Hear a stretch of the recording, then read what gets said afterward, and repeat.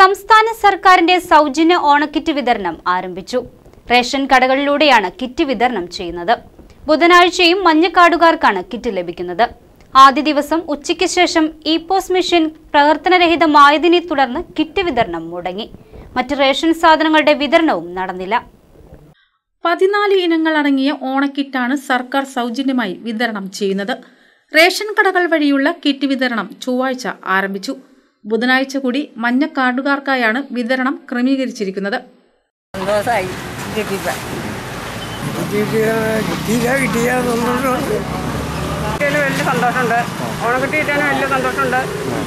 അതേസമയം നെറ്റ്വർക്ക് തകരാറായതിനെ തുടർന്ന് e POS machine പ്രവർത്തനരഹിതമായതോടെ പല കടകളിലും ഉച്ചയ്ക്ക് ശേഷം കിറ്റിന്റെയും മറ്റ് റേഷൻ സാധനങ്ങളുടെയും വിതരണം നടന്നില്ല.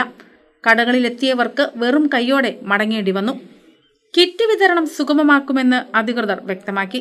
ഇരുപത്തിയഞ്ച് ഇരുപത്തിയാറ് ഇരുപത്തിയേഴ് തീയതികളിൽ പിങ്ക് കാർഡുകാർക്ക് കിറ്റ് ലഭിക്കും. വിതരണത്തിന് ആവശ്യമായ കിറ്റുകൾ റേഷൻ കടകളിൽ എത്തിച്ചിട്ടുണ്ടെന്ന് അധികൃതർ അറിയിച്ചു.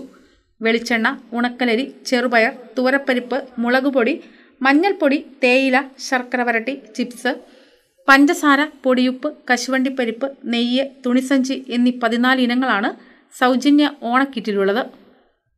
K C V news Kothamangalam.